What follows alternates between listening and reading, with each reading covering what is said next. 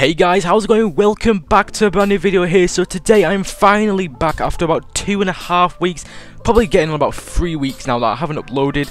Uh, two weeks I wasn't a holiday, but when I got back from holiday I wasn't really like in the mood, if that makes sense, like, to actually upload videos and do videos.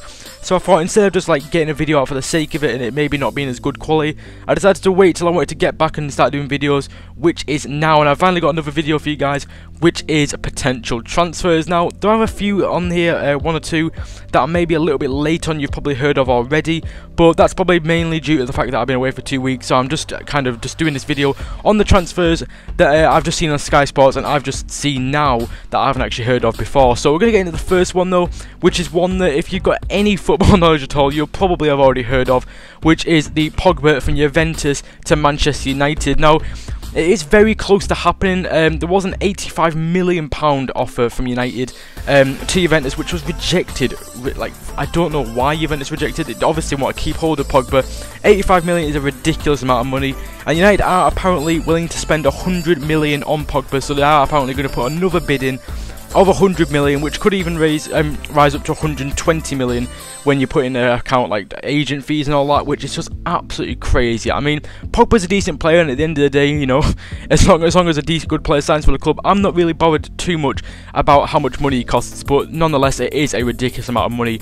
But it will be a really really good signing for United. So that is obviously a really, really good thing. Now, getting into the next player, we have got Robin Van Persie from Fenerbahce to Barcelona. Now, you're probably looking at this transfer, kind of scratching your head, thinking, why the hell would Barcelona sign Van Persie? And Barcelona are probably wondering that themselves because what I've actually seen on this transfer on Sky Sports and where I've seen it like Bleacher Report, I've seen it on Sky Sports as well though, and Van Persie has, has just kind of said to Barcelona that he wants to join Barcelona. He's openly said that in interviews and that, that he wants to join Barcelona um, as their like third, um, fourth attacking player.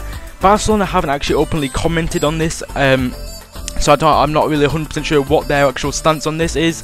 Um, obviously, did pretty decent for Fenerbahce. I, I thought, because early on in his um, Fenerbahce career, he was actually doing quite bad, but in the end he managed to score 22 goals. So uh, it is maybe a possibility. I mean, it, it was probably more likely to happen about like three years ago, four years ago, when he was kind of at his best, scoring goals for fun in the BPL, you know, the top the top leagues. I'm not 100% sure whether Barcelona would look at Van Persie seriously as a uh, attacking option, but I mean, you never know. There's been some crazy transfers in the past. You know, Jonathan Woodgate to Real Madrid springs to mind. So you really do not know whether this transfer will actually go through. But definitely, if it does, it will probably be a better transfer for Van Persie than Barcelona. Now, getting to the next player, we have got Alvaro Morata from Real Madrid to Chelsea.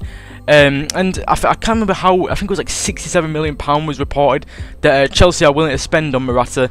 Um, which is pretty crazy to be honest. I think he got like 20 something goals last season for Juventus. I, I think it was like 20 something goals in all competitions. Um, in terms of in the league, he didn't actually do that good. I mean, definitely not good enough in my opinion to be worth 67 million. I'd probably pay mid 30s at the most really for Morata. Maybe just like very low 40s, like 41, 42. But even that would be like kind of at the at the most. I'd only spend that much if I was forced to on Morata because he's a decent striker, but I really don't think he's worth that much money. Um, also, as well, I'm surprised Chelsea are actually managing to get players like Morata to uh, actually want to come to Chelsea because they don't have any European football.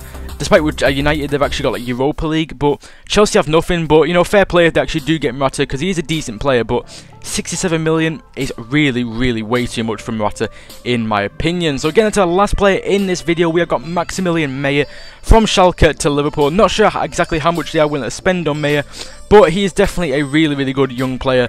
Um, has shown that for Schalke in the Bundesliga, um, picking up assists and goals galore. A really, really talented young player, and um, they've got quite a few young players that Liverpool have picked up. You know, you got that guy from Augsburg. I think he's quite young. I watch him be like 30 or something. I haven't actually even checked that. But I mean, Coutinho came in from Inter when he was quite young. He's been um, really, really good last two seasons. Been really, really fantastic for Liverpool. Got players like Firmino coming in. They're bringing quite a few young players in, and uh, I guess it can work. You know, if these players turn out to be world class, like Meyer has got the um, potential to. Coutinho's on the brink of being world class, and Firmino as well. They're starting to bring a few good young players in Liverpool. Uh, a lot of them are cams. They can maybe do a few like like a clinical striker really is where they kind of um, need to improve maybe. But definitely Maximilian Mey is a really, really good player, and I can see him being a success for Liverpool in the next few seasons. So hope you guys have enjoyed this video. If you did, then be sure to like button down below. And uh, also put in the comments down below as well what you think of the Van Persie to Barcelona deal. Do you think it will actually go through? Do you reckon it's an it will be an awful signing for Barcelona? Put your comments in the in the um, comments down below what you think of any of the transfers at all in this video, and that would be pretty awesome. I'll be sure to uh, reply to them. So hope you guys have enjoyed, and I will see you guys next time. See you later.